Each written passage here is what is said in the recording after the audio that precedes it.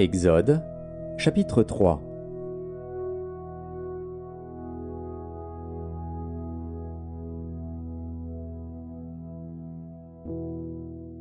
Moïse faisait paître le troupeau de Jéthro, son beau-père, sacrificateur de Madian. Et il mena le troupeau derrière le désert, et vint à la montagne de Dieu, à Horeb. L'ange de l'Éternel lui apparut dans une flamme de feu, au milieu d'un buisson.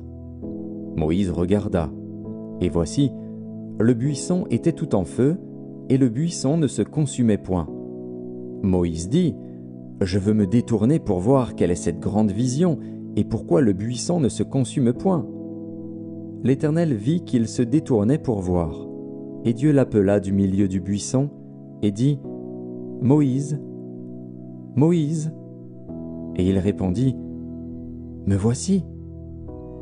Dieu dit, N'approche pas d'ici, ôte tes souliers de tes pieds, car le lieu sur lequel tu te tiens est une terre sainte. Et il ajouta, Je suis le Dieu de ton Père, le Dieu d'Abraham, le Dieu d'Isaac et le Dieu de Jacob.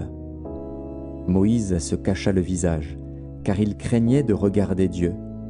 L'Éternel dit, J'ai vu la souffrance de mon peuple qui est en Égypte, et j'ai entendu les cris que lui font pousser ses oppresseurs, car je connais ses douleurs.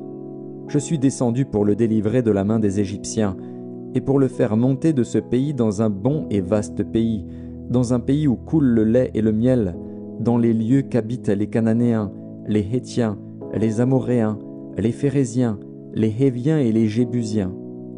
Voici, les cris d'Israël sont venus jusqu'à moi, et j'ai vu l'oppression que leur font souffrir les Égyptiens. Maintenant, va, je t'enverrai auprès de Pharaon, et tu feras sortir d'Égypte mon peuple, les enfants d'Israël. Moïse dit à Dieu, Qui suis-je pour aller vers Pharaon et pour faire sortir d'Égypte les enfants d'Israël? Dieu dit, Je serai avec toi, et ceci sera pour toi le signe que c'est moi qui t'envoie. Quand tu auras fait sortir d'Égypte le peuple, vous servirez Dieu sur cette montagne. Moïse dit à Dieu, J'irai donc vers les enfants d'Israël, et je leur dirai, Le Dieu de vos pères m'envoie vers vous, mais s'ils me demandent quel est son nom, que leur répondrai-je?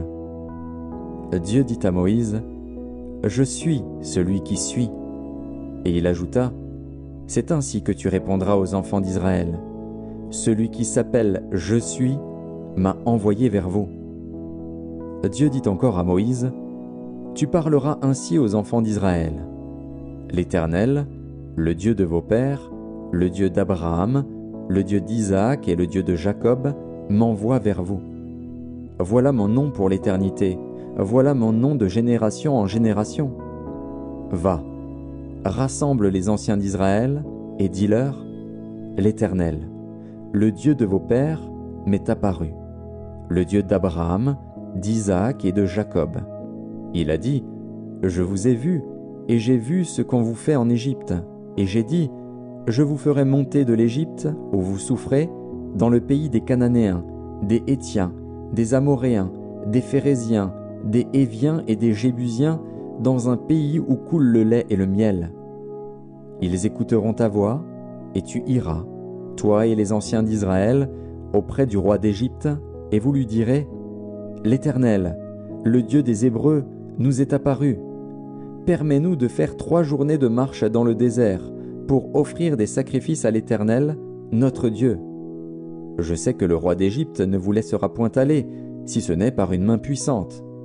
J'étendrai ma main, et je frapperai l'Égypte par toutes sortes de prodiges que je ferai au milieu d'elle. Après quoi, il vous laissera aller. Je ferai même trouver grâce à ce peuple aux yeux des Égyptiens, et quand vous partirez, vous ne partirez point à vide. Chaque femme demandera à sa voisine et à celle qui demeure dans sa maison des vases d'argent, des vases d'or et des vêtements que vous mettrez sur vos fils et vos filles, et vous dépouillerez les Égyptiens.